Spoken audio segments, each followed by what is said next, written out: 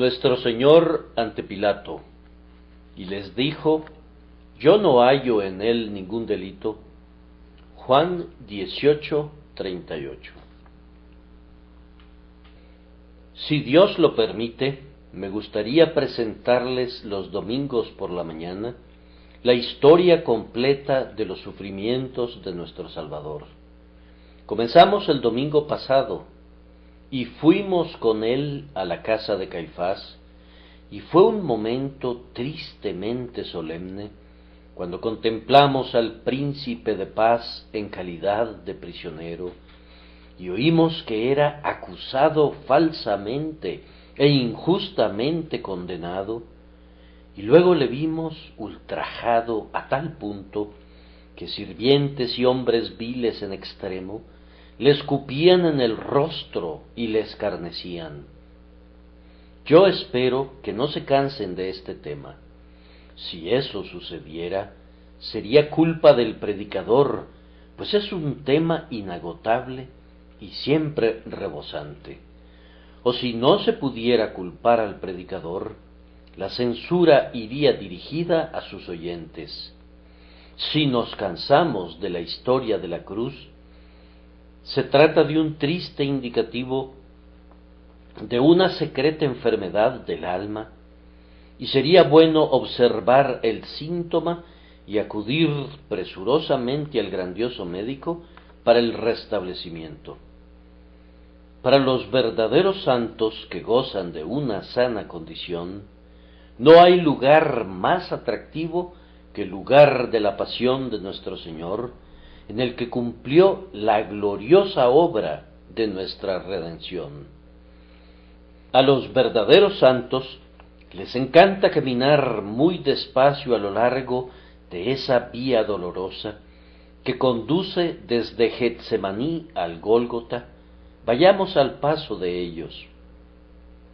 Cuando me detengo y contemplo a mi Señor, ardiendo sin consumirse como la zarza en Horeb, Oigo una voz que me dice, el lugar en que tú estás, tierra santa es. Nada es más santo que la persona de nuestro divino Maestro. Es muy bueno, por tanto, estar con Él. También es santa la angustia que experimentó cuando entregó su persona como un sacrificio por nosotros, y por eso es bueno estar con Él en sus sufrimientos sus aflicciones tienen una influencia sumamente santificante sobre todos los que las consideran con amor creyente. Estoy persuadido de que si viviéramos más en la atmósfera de la cruz, el pecado perdería su poder y toda gracia florecería. Cuando nos acercamos mucho a Él y tenemos comunión con Él en sus sufrimientos, sonamos la alarma contra el pecado que lo mató y resolvemos vengarnos del pecado apartándonos de él y decidimos luchar contra él siempre que lo veamos en otras personas. La cruz es ese santo implemento con el cual hacemos la guerra contra el pecado hasta destruirlo completamente. Bienaventurados y santos son entonces los pensamientos que son generados por nuestro grandioso sacrificio. Y no solo es eso, sino que la medicina que nos proporciona la salud es un gozo en sí misma. Son dulces momentos plenos de bendición los que paso delante de la cruz, recibiendo vida, salud y paz del moribundo amigo del pecador. Aquí no hay la algarabía como la de quienes se divierten con su vino, no hay los gritos de quienes triunfan, no hay los cantos de los que festejan, hay más bien una dulce y grave melodía, como de corazones que han encontrado reposo. En la cruz encontramos un gozo sustancial, una satisfacción de largo alcance, la paz de Dios que sobrepasa todo entendimiento. Aquí está para ustedes oh personas inquietas, la cura del desasosiego. Aquí dirán ustedes, pronto está mi corazón, oh Dios, mi corazón está dispuesto, cantaré y trovaré salmos. Por tanto, no daré ninguna excusa, aun si en semanas venideras los conduzco al lugar de chacales, donde su Señor fue muy penosamente quebrantado, y les ayudo a beber de su copa y ser bautizados con su bautismo. Que el Espíritu de Dios venga y abra sus ojos para que puedan leer el sagrado corazón de aquel cuyas aflicciones son incomparables, aflicciones que fueron soportadas por amor a nosotros. Vayamos de inmediato y con diligencia amorosa y humilde a la narración. Nuestro Señor fue condenado por los principales sacerdotes por blasfemia, porque él mismo declaró ser el Hijo de Dios, y les dijo que desde ahora le verían venir en las nubes del cielo para ser su juez. Rasgando sus vestiduras, el sumo sacerdote dijo, Ha blasfemado. ¿Qué más necesidad tenemos de testigos? He aquí, ahora mismo habéis oído su blasfemia. Cuando despuntó la luz matinal, hicieron como si hubiesen completado la formalidad de un juicio celebrado a plena luz del día, aunque realmente le habían condenado durante la noche, y entonces condujeron a Jesús a Pilato. De acuerdo a la tradición, fue conducido con una soga alrededor del cuello y con sus manos atadas. Y yo creo plenamente en la tradición si recuerdo las palabras de Isaías, como cordero fue llevado al matadero. Era una procesión extrañamente triste, esa que se desplazaba a lo largo de Jerusalén un poco después de las seis de la mañana. Los hombres del Sanedrín, en toda su pompa y poder, rodeaban a esa pobre víctima a quien estaban a punto de entregar a los gentiles con el único designio de que fuera inmolado. Estos malvados hombres presumidos eran como los perros de los que cantó el salmista cuando su tierno tema era la sierva de la mañana. Cuando llegaron a la casa del gobernador romano, ellos mismos no quisieron traspasar sus puertas, se dice que era uno de los muchos espléndidos palacios que Herodes el Grande se había construido. La arquitectura era suntuosa. Los pisos tenían incrustaciones de mármoles escogidos y todas las recámaras estaban ricamente recubiertas de oro y amuebladas con esplendor oriental. Estos hipócritas escrupulosos no quisieron entrar al grandioso salón porque no querían contaminarse de ninguna manera por tocar a un gentil, pues ya habían comenzado a guardar la Pascua. Así que esperaron en el patio, y Pilato condescendió a salir a ellos y enterarse del negocio urgente que los había llevado allí tan temprano en la mañana. El gobernador romano era altivo, y cruel y aborrecía a los judíos.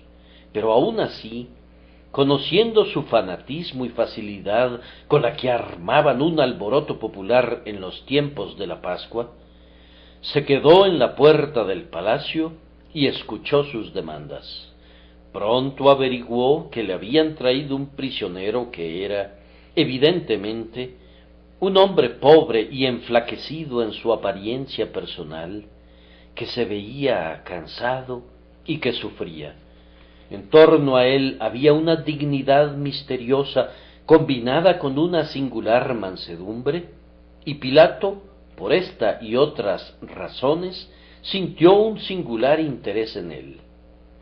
Fijando primero su mirada en el extraordinario prisionero, se volvió a los airados sacerdotes y les preguntó ¿Qué acusación traéis contra este hombre? El único objetivo de los sacerdotes al traer a Jesús a Pilato era conseguir que él lo ejecutara, pues cuando Pilato les dijo que fueran y le juzgaran de conformidad a su ley, ellos replicaron que lo harían con mucho gusto, pero que el poder de vida y muerte les había sido arrebatado, implicando que nada los contentaría sino su muerte. Sin embargo, ellos estaban muy ansiosos de poder achacar la responsabilidad de su muerte a los romanos, pues el temor del pueblo estaba todavía en ellos.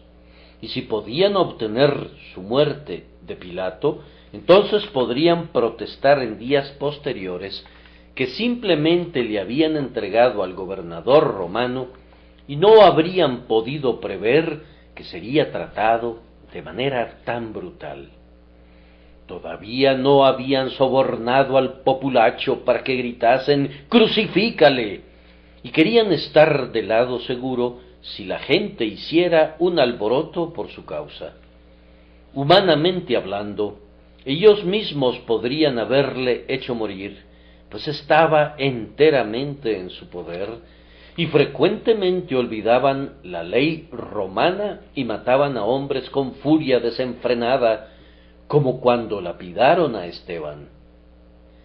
Frecuentemente habían intentado apedrear a nuestro Señor mismo, así que no siempre se preocupaban por la ley romana.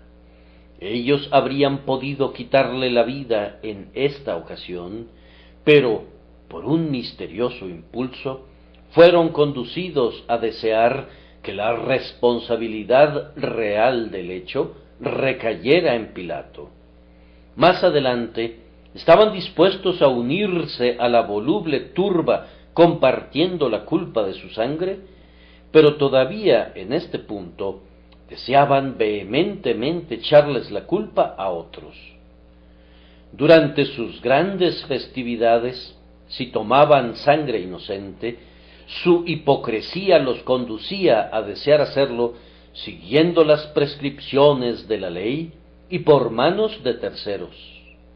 Para hacer esto, tenían que presentar una acusación, pues ningún gobernante romano condenaría a un hombre si no se hubiese presentado una acusación. Esta mañana vamos a considerar las dos acusaciones que presentaron y después de eso oiremos el veredicto de absolución que pronunció Pilato en el lenguaje de este texto. Yo no hallo en él ningún delito. La primera acusación, si van al capítulo 18 y leen el versículo 13, era de que él era un malhechor. Respondieron y le dijeron, si éste no fuera malhechor, no te lo habríamos entregado. Decían que él era un hechor o hacedor de aquello que era malo, una persona que llevaba una vida tan malvada que no debía vivir. Sobre esto comentamos, primero, que era una nueva acusación. Estaba recién salida de la fragua, pues cuando compareció delante de Caifás, nada se dijo de ningún mal que hubiere hecho, sino sólo del mal que había hablado. Le acusaban de decir esto y lo otro, pero no le acusaron de hacer ningún mal. La acusación de hablar mal no había prosperado, y no se aventuraban a presentarla una segunda vez, porque sabían muy bien que a Pilato no le importaba lo que el hombre hubiere dicho, todo lo que le preocuparía sería un quebrantamiento real de la ley por medio de algún acto o de algún hecho.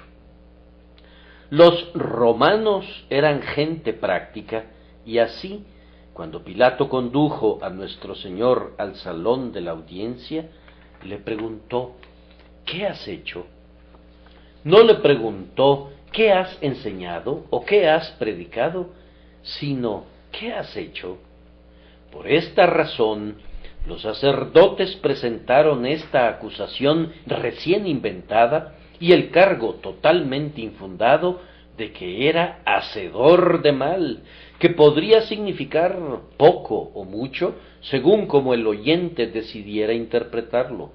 La malicia es raramente específica en sus cargos. La acusación de que era un malhechor brotó de su malevolencia y no de ninguna acción de la perfecta vida de nuestro Señor. Uno se sorprende de que incluso el odio sea tan ciego como para arremeter contra sus perfecciones. Independientemente de lo que los hombres piensen de nuestro Señor como Maestro, la franqueza exige que admiren su ejemplo y le otorguen el más excelso tributo de honor. Observen aquí que los sacerdotes presentaron contra nuestro Señor una acusación que no intentaron sustentar. Cuán astutamente evadieron la tarea de suministrar alguna prueba. No presentaron ningún testigo, y sus perjuros testigos sobornados fueron dejados atrás. Incluso si abstuvieron de presentar cargos específicos, pero la declaración general de que él era un malhechor fue apoyada únicamente por su reputación. Si éste no fuera un malhechor, no te lo habríamos entregado. Que era tanto como decir, tienes que dar por sentado que él es culpable, pues de lo contrario no lo diríamos. Aquí está nuestro sumo sacerdote, podría suponerse que este individuo, que es una verdadera joya, se atrevería a presentar una acusación falsa? Nosotros somos también los principales sacerdotes y los escribas y los maestros de Israel. Es de imaginarse, por alguna posibilidad, de que personas de nuestra posición y santidad pudieran haber traído a una persona inocente delante de ti para ser condenada? Yo he escuchado este estilo de argumentación incluso en estos días. Se espera que renunciemos a la fe simplemente porque los científicos la condenan y como ellos son personas tan eminentes, hemos de aceptar sus comentarios sin demora alguna. Yo confieso que no estoy preparado para aceptar la infalibilidad de los científicos más fácilmente que la infalibilidad que nos llueve de Roma. El gobernador romano no debía ser anulado por los sacerdotes, ni nosotros debemos ser llevados de la nariz por pretendidos hombres de ciencia. Si éste no fuera malhechor, no te lo habríamos entregado. Oh, la hipocresía de este discurso. Habían intentado presentar testigos, pero no habían encontrado ninguno. Habían sobornado a falsos testigos, pero habían diferido tanto en su testimonio que todo se vino abajo. Por tanto, hacen un viraje y ponen sus propios nombres en apoyo de la denuncia, como si eso bastara y la investigación no necesitara proseguir. Me parece ver la escarnecedora mirada de Pilato al momento de pedirles que juzgaran ellos mismos si ese era su estilo de justicia. En cuanto a él, debía oír una acusación o pedirles que se fueran e hicieran lo que quisieran si se atrevían a hacerlo. Él sabía que le habían traído a Jesús por envidia y detestaba a esos hipócritas al momento de oír las despreciables sílabas masculladas por sus labios mojigatos. Los judíos no habrían podido sustentar la acusación y hasta allí fueron sabios al no intentar lo imposible. ¿Podrían ser lo suficientemente temerarios para torcer sus palabras? pero dudaban ante la tarea de atacar sus actos. Ante su terrible santidad, se quedaron sin valor por un momento y no sabían qué calumnia inventar. Oh Señor, Nos asombramos de que haya algunos hombres que encuentran delitos en ti, pues tú eres todo codiciable y no se puede encontrar ni mancha ni falsedad en ti. Pero yo quiero llamar su atención a este hecho notable, que aunque esta acusación de que él era un malhechor era atroz, inventada y sin el apoyo de ninguna evidencia, nunca fue negada por el Señor Jesucristo. Era inútil negarla ante los sacerdotes. Ya los había conminado a que encontraran alguna falla en su vida, diciendo, yo públicamente he hablado al mundo, siempre he enseñado en la sinagoga y en el templo, donde se reúnen todos los judíos, y nada he hablado en oculto. ¿Por qué me preguntas a mí? Pregunta a los que han oído qué les haya hablado. He aquí, ellos saben lo que yo he dicho.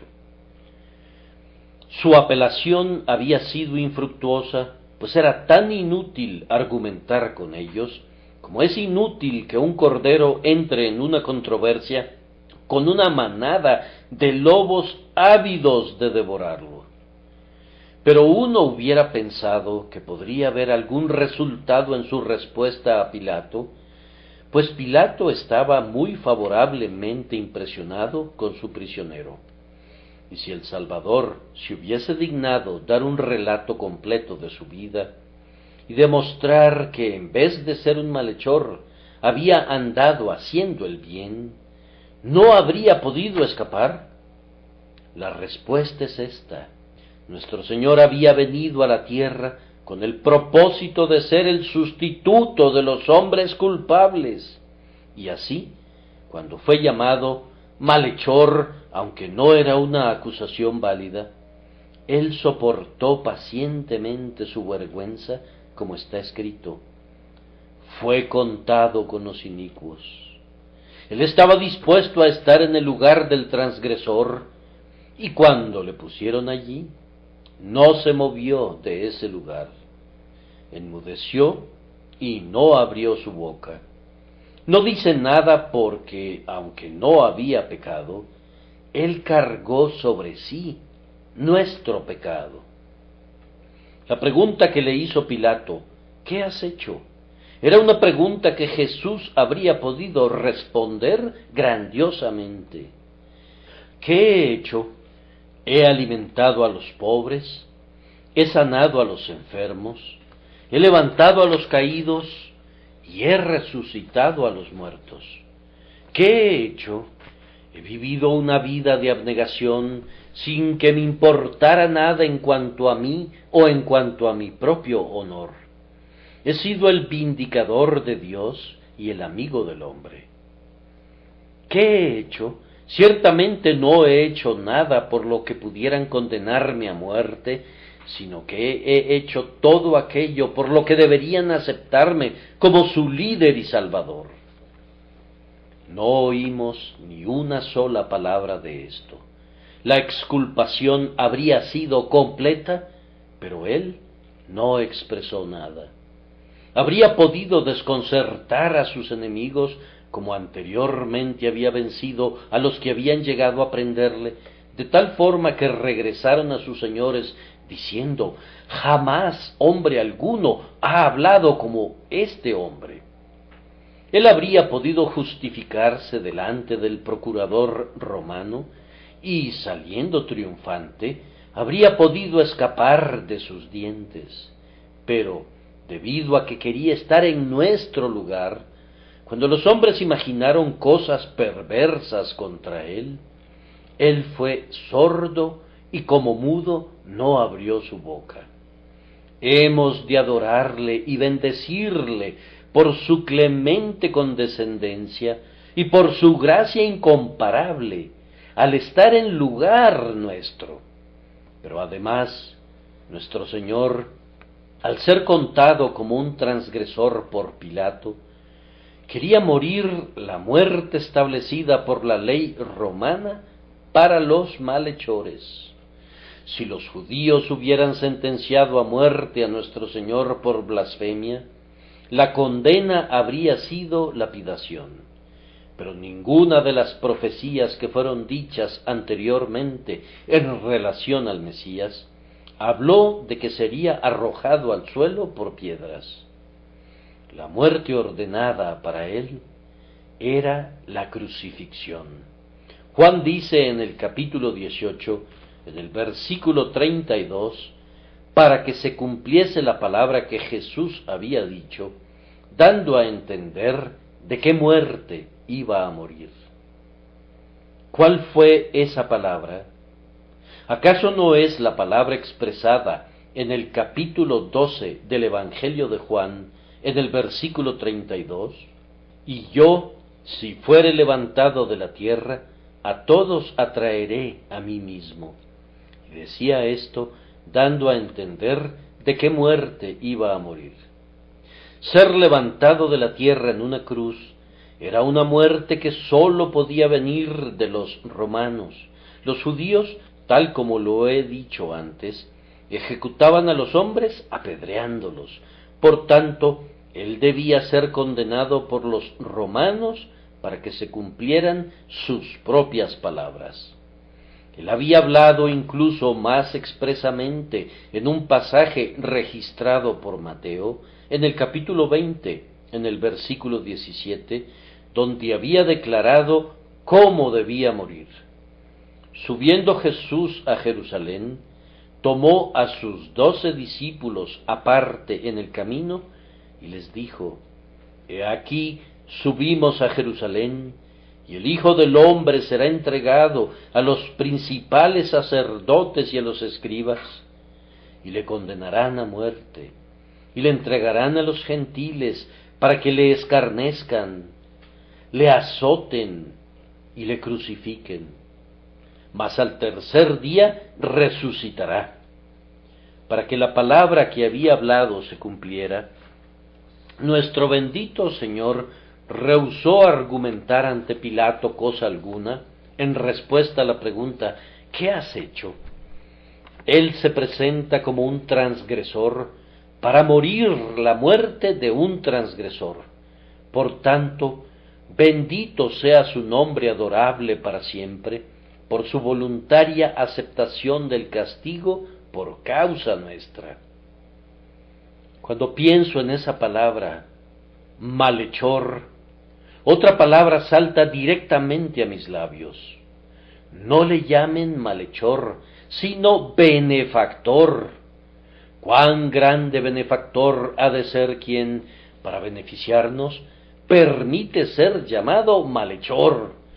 Solo piensen que quien se sienta en este momento en el centro de ángeles que adoran, haya sido llamado malhechor que aquel de cuya inextinguible provisión de bondad todos los santos en el cielo y en la tierra son alimentados, sea llamado malhechor, que aquel que no pensó nunca en dañar a los hombres y que más bien su propia alma es amor, cuyas palabras y pensamientos han sido todos de bondad para con esta raza caída, sea llamado, a pesar de todo ello, malhechor. Oh tierra, ¿cómo pudiste tolerar una mentira tan grave contra la infinita bondad del Hijo de Dios? Y sin embargo, bendito sea por siempre su nombre, pues Él no lanza de regreso la acusación, ya que eso hubiera sido para arruinarnos. Él soporta mansamente el escándalo por nuestra causa. ¿Acaso esto no debería endulzar cada título de reproche que nos pudiera atacar jamás? ¿Qué importa que nos encajen nombres impertinentes? Ellos llamaron al señor de la casa malhechor. ¿Podrían llamarnos de alguna peor manera? Buscaremos la honra allí donde nuestro capitán no encontró nada sino vergüenza. Por esa razón, debe ser nuestra gloria sobrellevar vergüenza y afrenta por causa de Jesús. Esto es suficiente en cuanto a la primera acusación. En segundo lugar, Cuando los sacerdotes y los escribas descubrieron que no bastaba con llamarle simplemente malhechor, estos viles hombres cambiaron su táctica y de acuerdo a Lucas, le acusaron de proponerse ser rey. Dijeron que fraguaba la sedición, que prohibía pagarle tributo a César y que se constituía en rey. Estas eran tres grandes mentiras, pues Jesús había predicado la paz y no la sedición. Su ejemplo era de sumisión, no de rebelión. Su espíritu era el de un siervo, no el de un turbulento líder de un partido.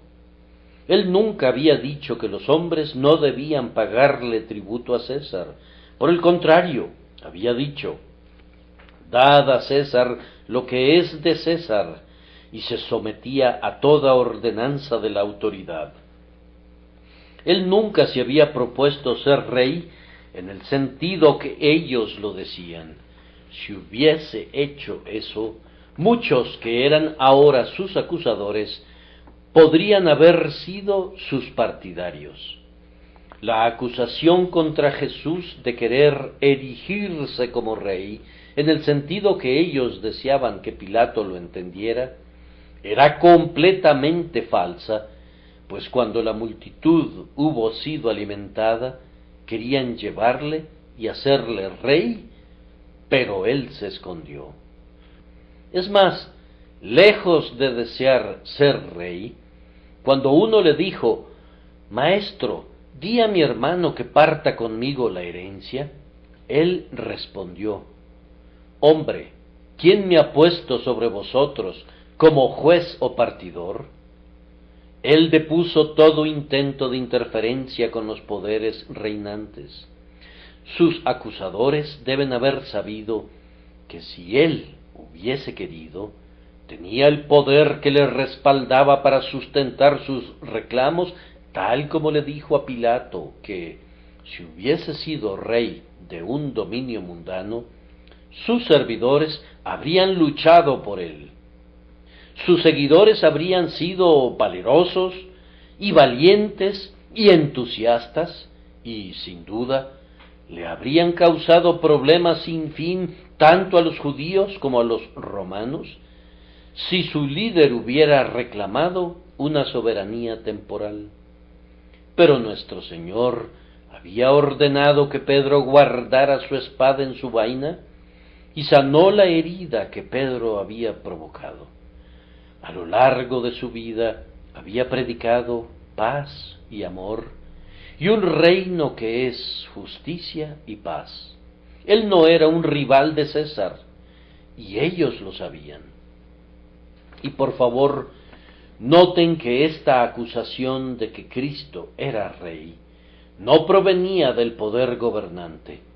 Cuando Pilato le preguntó a nuestro Señor, ¿Eres tú el rey de los judíos?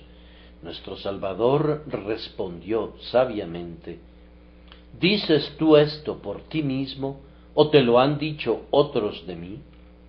¿Tienes alguna razón para pensar que soy un líder de la sedición? Como gobernador de esta nación, tienes que vigilar cuidadosamente, pues los del pueblo son sediciosos. ¿Has visto jamás o has oído algo acerca de mí que parezca un ataque contra tu autoridad? ¿Tienes algo que sea de tu propio conocimiento que te conduzca a levantar una acusación en mi contra? Pilato, no sabiendo absolutamente nada en contra suya, y en verdad escarneciendo la idea de que supiera algo acerca del pueblo judío, a quienes detestaba, replicó arrogantemente, ¿Soy yo acaso judío? Tu nación y los principales sacerdotes te han entregado a mí. Un gran punto fue ganado cuando Pilato dijo esto. Quedó demostrado que la acusación era una mera invención, puesto que el ojo de águila del procurador romano no había visto nunca la menor justificación para ella. De manera muy visible, se trataba de una acusación frívola. ¿Cómo podría ser un peligro para César ese hombre inofensivo y desamparado? ¿Qué tenían que temer las legiones romanas de ese solitario ser sufriente? Él era demasiado manso y puro para amenazar con guerra y contienda al imperio de Tiberio. Mírenle y dense cuenta de lo absurdo de la situación. Además, parecería algo extraño que el pueblo judío llevara delante del gobernador romano a su propio rey. ¿Es esta la manera en que los súbditos tratan a sus monarcas? Si él fuera el líder de una sedición, no parecería haber tenido éxito con sus paisanos, pues las cabezas del pueblo están buscando su muerte. A la luz de ello, no podría haber ninguna oportunidad de peligro, de rebelión de ningún tipo, ya que fue sumariamente abatida por los propios judíos. Si no hubieran estado embrutecidos por su ira, ellos mismos se habrían retractado de una posición tan absurda. Pero, sin embargo, quiero que noten muy cuidadosamente que el Señor no negó nunca esta acusación en el sentido en que eligió entenderla. Él explicó primero qué quería decir con que era un rey y cuando lo hubo explicado, confesó abiertamente que era precisamente eso. Primero digo, él explicó lo que pretendía al decir que era un rey, y adviertan cuidadosamente que no lo hizo de manera detallada. Él dijo, mi reino, y también cuando Pilato preguntó, luego, ¿eres tu rey? Él respondió, tú dices que yo soy rey. Él era allí y entonces un rey real, y lo manifestó sin reservas. Se nos dice constantemente que el reino de Cristo es un reino espiritual, y esta afirmación es verdadera. Pero yo quisiera que se cuidaran de no hacer desaparecer su reino como si fuese únicamente un sueño piadoso. Espiritual o no, el reino de Cristo en la tierra es real y poderoso no es menos real, sino más real, debido a que puede ser llamado adecuadamente espiritual. Jesús es rey incluso ahora. Él dijo, yo soy rey. Algunos dicen que su reino no está vigente todavía, sino que está reservado para los días postreros. Pero yo les aseguro que Él es rey hoy y que incluso ahora Jehová le ha erigido como rey sobre el monte santo de Sión. Yo bendigo a Dios porque nos ha trasladado al reino de su amado Hijo. Tú eres el Rey de gloria, oh Cristo. Cuando digo, venga tu reino, no quiero decir que comience a establecerse en la tierra, sino que continúe estableciéndose en nuevos lugares, que se extienda y que crezca, pues Jesús en este preciso momento tiene un reino sobre la faz de la tierra y quienes conocen la verdad pertenecen a Él y le reconocen a Él como el testigo real por quien el reino de la verdad ha sido fundado y sostenido. Ustedes recuerdan el notable comentario que es atribuido a Napoleón Bonaparte en sus últimos años en Santa Elena. Yo he fundado un reino por la fuerza y ha pasado. Pero Jesús fundó su imperio sobre el amor y por eso permanecerá para siempre. Ciertamente, Napoleón dijo la verdad.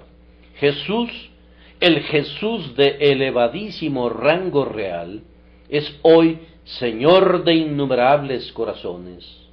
El mundo no le conoce, pero sin embargo, Él tiene un reino en el mundo que, antes de que pase mucho tiempo, hará pedazos a todos los otros reinos.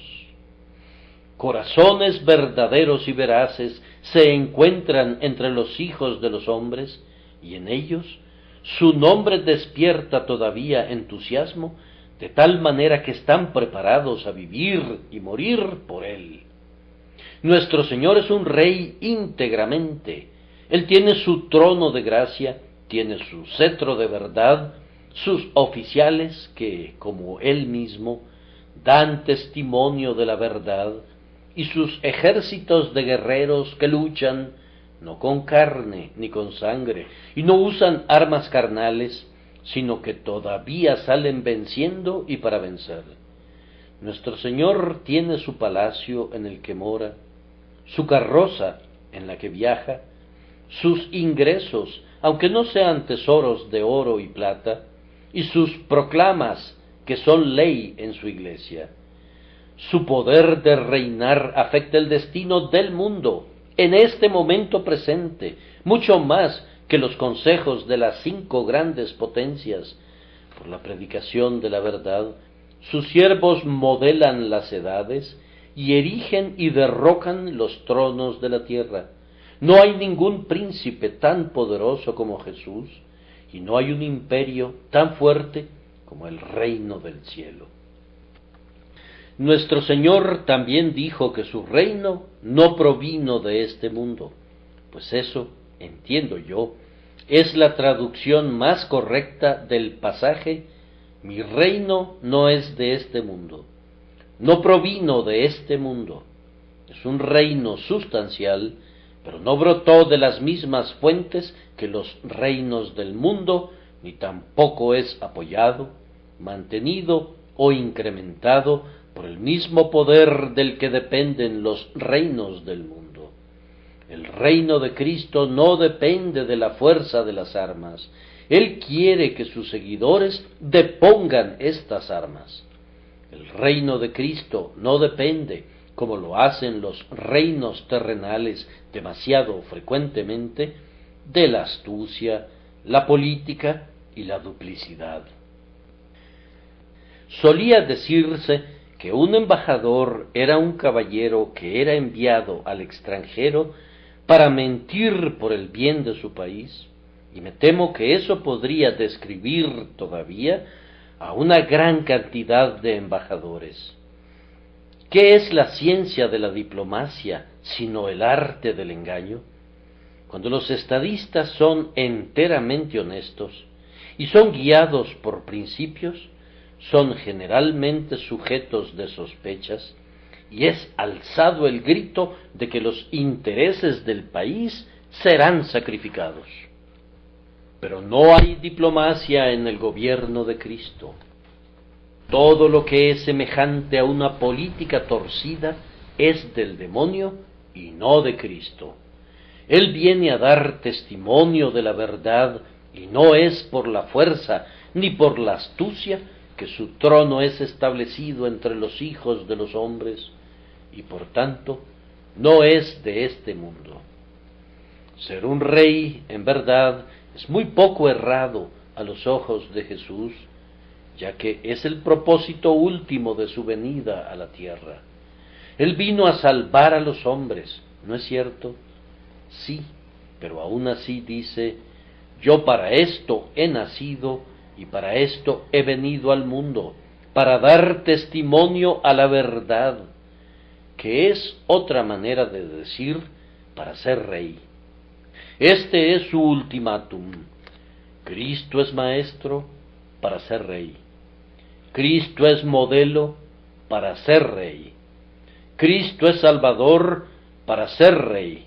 Este es el gran propósito y objetivo que tiene en su vida, en su muerte, en su resurrección y en su segunda venida. Establecer un reino entre los hijos de los hombres para la gloria de Dios. Oh, que este grandioso propósito de su misión sea promovido en nuestro tiempo y consumado pronto en la edad de oro prometida desde hace mucho tiempo. El Maestro nos dice que la principal fuerza y el poder de su reino radican en la verdad. Él vino para ser rey, pero ¿dónde está su cetro? Es la verdad. ¿Dónde está su espada? Sale de su boca. Él da testimonio de la verdad. ¿Dónde están sus soldados? Son hombres de la verdad. Jesucristo conduce a una cuadrilla de hombres de quienes dijo, Vosotros sois mis testigos. Su reino consiste en dar testimonio de la verdad. ¿Y quiénes son los que se convierten en sus súbditos? Pues son aquellos que son de la verdad, hombres que, oyendo la verdad, conocen el alegre sonido y lo aceptan y sienten su poder. Queridos oyentes, cada uno de nosotros ha de hacerse la pregunta, ¿pertenezco a este reino? ¿Quiero que este hombre reine sobre mí? ¿Deseo desprenderme de todo lo que no sea verdadero? ¿Estoy ansioso de reprimir a mi alrededor todo lo que sea falso y perverso? Quiero cumplir las leyes de Dios, pues son la verdad. Deseo divulgar los principios del amor y la bondad, pues son la verdad. Estoy dispuesto a aprender y así volverme discípulo del más grandioso de todos los maestros, y entonces estoy dispuesto a dar testimonio de lo que he aprendido y así difundir el imperio de la verdad. Si es así, entonces yo soy de su reino. Sé que me dirijo a muchos que desean hoy en sus corazones que Cristo y su verdad triunfen y que se preocupan poco de qué pueda hacer de ellos. El Evangelio de Cristo ha de divulgarse y los principios de justicia han de prevalecer. Y en cuanto a nosotros, ya sea que vivamos o muramos, será un asunto de poca importancia. Oh Rey, vive para siempre, y nosotros encontraremos nuestra vida en tu vida y gloria promoviendo tu gloria, mundo sin fin. Tal espíritu es de la verdad y podemos asegurarnos a nosotros mismos que Jesús es nuestro Rey. Nuestro Señor, habiendo explicado su significado, confesó que era rey. Esto es a lo que Pablo se refiere cuando dice, Jesucristo, que dio testimonio de la buena profesión delante de Poncio Pilato, no se retractó diciendo, no soy rey. Pilato habría podido liberarle entonces, pero habló valerosamente en lo concerniente a su bendito, a su misterioso y portentoso reino, y por tanto no era posible que fuera liberado. Esto en verdad fue su acusación escrita sobre su cruz. Este es el rey de los judíos. Pobre Pilato, él no entendió a nuestro Señor como tampoco los hombres de este mundo entienden el reino de Cristo. Pilato le preguntó, ¿qué es la verdad? Y sin esperar una respuesta, salió otra vez a los judíos. Ah, hermanos, no neguemos nosotros mismos nunca que Jesús es un rey, pero lo haríamos si no viviéramos de acuerdo a su mandato. Oh, ustedes que aseveran que son de Cristo, pero que no viven de acuerdo a las leyes de Cristo, ustedes prácticamente niegan que Él sea un rey. Yo temo a los hombres que dicen, nosotros creemos y por tanto somos salvos, y luego no viven en santidad, pues dividen los oficios de nuestro Señor, defendiendo su sacerdocio y negando su reino. Medio Cristo no es Cristo, un Cristo que es un sacerdote, pero que nunca es rey, no es el Cristo de Dios. Oh hermanos, Vivan como aquellos que sienten que cada palabra de Jesús es ley y que deben hacer lo que les ordena tal como se los ordena y debido a que se los ordena. Y así todos los hombres han de saber que para ustedes Jesús es Señor y Dios. Concluyo notando la absolución que Pilato dio a nuestro Señor Jesús. Él había oído la acusación de que era un malhechor, a la que el prisionero no argumentó nada. Él había oído la acusación de que se decía ser un rey, cargo que el prisionero había explicado de manera sumamente satisfactoria.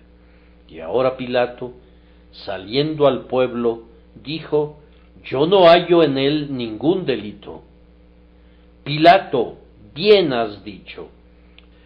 Tu veredicto es el veredicto típico de todos los que han examinado a Cristo. Algunos le han examinado con un ojo hostil, pero en la proporción en que han sido íntegros en la observación de los hechos, se han visto sorprendidos por su vida y espíritu. Es algo muy raro oír que incluso el infiel hable mal del carácter de Jesús. De hecho, algunos de los escépticos más conspicuos se han visto notablemente impresionados en cuanto a la enseñanza del Señor y han sentido admiración hacia su vida. No se puede ver en la historia ningún carácter como el de Jesús, ni siquiera en alguna novela de ficción. Si alguien dijera que los cuatro evangelios son falsificaciones, que trate de escribir un quinto evangelio que sea como los cuatro. Vamos, no podrías agregar un incidente a la vida de Cristo. Sus detalles son únicos. La fantasía no puede imaginar un incidente fresco que pueda ser agregado con seguridad a lo que ha sido registrado. Todos los críticos clamarían, esto no es genuino. La vida de Jesús es un rollo de tela de oro de cuya manufactura el arte no tiene la menor idea. Su carácter inmaculado está solo y es único, y todos los verdaderos críticos se ven forzados a decir que no encuentran ningún delito en él. Permítanme agregar que este veredicto de Pilato es el veredicto de todos los que se han asociado alguna vez con Cristo. Un discípulo que estaba con Cristo le traicionó, pero no habló nada en su contra. Es más, el último testimonio de Judas antes de que se ahorcara fue este. Yo he pecado entregando sangre inocente. Si hubiese habido un delito en Jesús, el espía lo habría detectado. Su remordedora conciencia se habría alegrado mucho si se hubiera encontrado allí un sedante, pero incluso Judas se vio forzado a decir yo he pecado entregando sangre inocente. ¿Quién de vosotros me redarguye de pecado? Es el reto de Jesús para el cual no hay respuesta. Algunos de nosotros hemos vivido con Cristo espiritualmente. En el curso de su providencia, Él nos ha abatido mucho a algunos de nosotros por medio de la enfermedad, o por duelo, o pérdidas. Todos los salvados por nuestro Señor han caído bajo la disciplina de su casa, porque el Señor al que ama disciplina y azota a todo el que recibe por hijo. Ahora, ¿cuál es el veredicto de todos los aquí presentes que conocen a Jesús, nuestro Rey? Por mi parte, no encuentro ningún delito en él. Él es todo codiciable. Él es toda mi salvación y todo mi deseo. ¿No creen que de todos los millones de cristianos que han vivido esperando en Cristo, alguien ya nos habría dicho que Él está habituado a desilusionar a su pueblo? De entre tantos creyentes que habitan con Él, seguramente uno que otro, al llegar su muerte, ya nos habría dicho que Él no era todo lo que profesa ser. no habría confesado uno que otro, yo confié en Cristo y Él no me ha liberado, todo es un engaño. Seguramente de los muchos que hemos visto partir, habríamos encontrado a uno o dos que habrían publicado el secreto y habrían dicho, es un engañador, él no puede ayudar, no puede liberar. Pero nunca ningún creyente moribundo a través de las edades ha hablado mal de él, sino todos han dicho, yo no hallo en él ningún delito. Fíjense que ese será el veredicto de cada uno de ustedes. Si alguno rechaza a Cristo cuando esté en su tribunal para ser condenado porque no cree en él, y cuando esa palabra que marchita, apartaos de mí, malditos, lo consigne a su porción sempiterna, entonces se verá obligado a decir, yo no hallo en él ningún delito. No hubo ninguna falla en su sangre. La falla estuvo en mi falta de fe. No hubo ninguna falla en su espíritu. La falla estuvo en mi obstinada voluntad. No hubo ninguna falla en su promesa. La falla fue que yo no quise recibirle. No hubo en él ningún delito. Él nunca me desdeñó. Nunca rehusó oír mis plegarias. Si mis domingos fueron desperdiciados, no fue culpa suya. Si yo desafié el Evangelio, no fue culpa suya. Si he perecido, mi sangre está a mi propia puerta. Yo no hallo en él ningún delito. Desde todas partes de la creación se alzará una testificación a su perfección. El cielo y la tierra y el infierno se unirán, todos ellos al veredicto común, nosotros no hallamos en él ningún delito. Los voy a despedir después de darles tres palabras prácticas para que piensen en ellas. La primera es esta, cuídense de una religión externa, pues los hombres que llamaron a Jesús malhechor y le acusaron falsamente eran personas muy religiosas y no quisieron entrar al pretorio de Pilato por miedo a contaminarse. Eran fuertes en rituales, pero débiles en moral. No hay personas más inveteradas en contra de los principios del Evangelio que aquellos cuya religión consiste en formas y ceremonias que no afectan sus corazones. Les exhorto a que rasguen sus corazones y no sus vestidos sigan a Cristo espiritualmente, sigan a Cristo en sus propias almas, pues de lo contrario los sacramentos serán su ruina e incluso al tratar de mantenerse alejados de la contaminación ceremonial, se estarán contaminando con la hipocresía. Lo siguiente es exhortarlos, queridos amigos, y exhortarme yo mismo para evitar toda altiva mundanalidad como la de Pilato. Pilato trataba todo el asunto caballerosamente. Él es un romano soberbio y altivo.